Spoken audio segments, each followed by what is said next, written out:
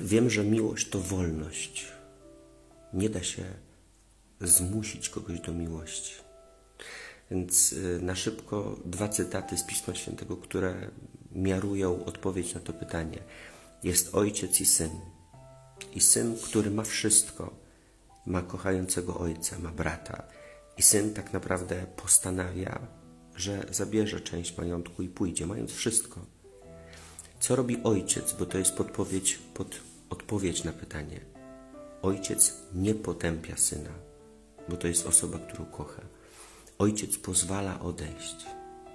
Ojciec jest w Biblii, w, tym, w tej perykopie nazwany Bogiem.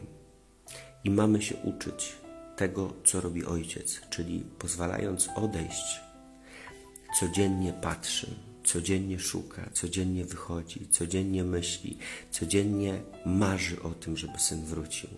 A jeśli wraca, nic mu nie wypomina, na niego nie krzyczy, przyjmuje go w pokorze, podnosi go z kolan, daje mu pierścień, sandały, daje mu płaszcz, wyprawia ucztę, cieszy się. Więc to jest wzór, z którego mamy czerpać, czyli wychodzić naprzeciw tego, który na dzisiaj odchodzi. Druga rzecz, y, która mnie ujmuje, to z dwunastu apostołów jedenastu uciekło spod krzyża. Każdy z nas w jakiś sposób e, ucieka w grzechy. Natomiast to ujmujące, co Jezus robi, Jezus po zmartwychwstaniu, kiedy idzie szukać tych jedenastu, to nie wypomina im, że uciekli, że się wypisali, że spod krzyża uciekli, tylko pyta ich o miłość. Więc mamy za, za zadanie codziennie walczyć o swoją świeżość relacji z Bogiem. Mnie ujmuje ten, który został pod krzyżem, czyli święty Jan.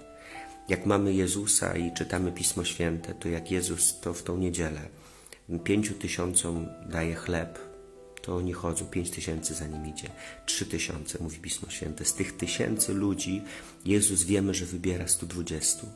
Ze stu dwudziestu wybiera siedemdziesięciu dwóch, których nazywa apostołami.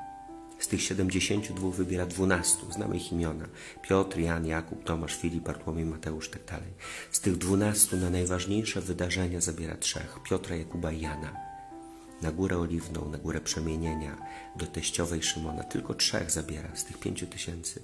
Uwaga, pod krzyżem zostaje święty Jan, umiłowany uczeń. Ten święty Jan, który zostaje pod krzyżem, Mówi Pismo Święte, dzień wcześniej, na ostatniej wieczerzy, był tak blisko Jezusa, że jego głowa spoczywała na piersi Jezusa, słyszał bicie jego serca. I do tego każdy z nas jest zaproszony, żeby słuchać bicia serca Boga. Wtedy nie ma co odchodzić.